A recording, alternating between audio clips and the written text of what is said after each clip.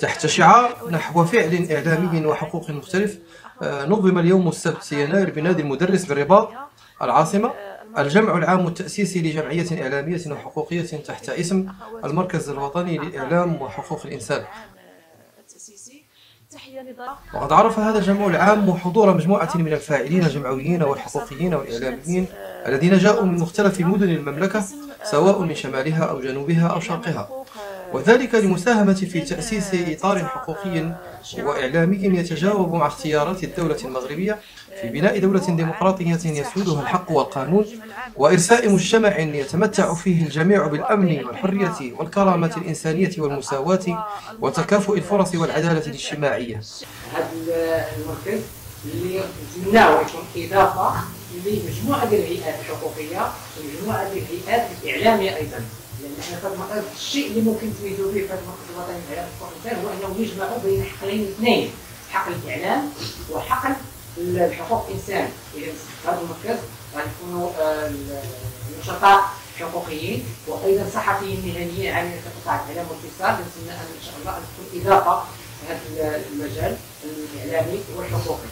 وبعد المصادقة على مشروع أرضية عمل المركز ومشروع القانون الأساسي وبعد إدخال تعديلات عليهما تم الإعلان رسميا عن ميلاد المركز الوطني للإعلام وحقوق الإنسان الذي سيسعى للدفاع عن حقوق الإنسان بمفهومها الكوني والنهوض بها وحمايتها ونشر ثقافة حرية الرأي والتعبير والصحافة ورصد وتتبع الخروقات الحقوقية والإعلامية التي تطال الإنسان والصحافي والمبدع وكذا المساهمة في التربية على المواطنة والديمقراطية.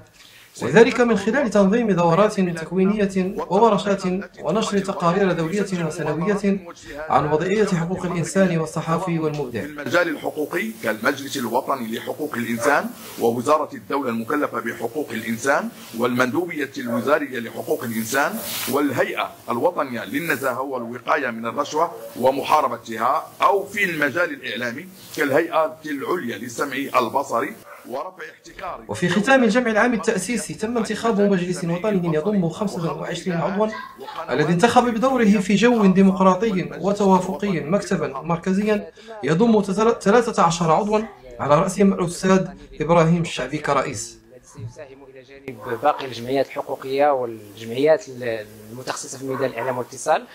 من أجل المساهمة في الدفاع عن قضايا حقوق الإنسان وأيضا نشر ثقافة الحرية والإعلام والصحافة وحرية التعبير أيضا. آه، سنساهم أيضا إلى جانب هذه الإطارات وهذه الجمعيات وهذه الهيئات من أجل تقوية آه، حقوق الإنسان داخل المغرب. وبناء أيضا شراكات آه، داخل المغرب مع مؤسسات رسمية وغير رسمية إضافة إلى مؤسسات دولية من أجل آه، إنجاح آه، ورش الحقوقي والورش الإعلامي.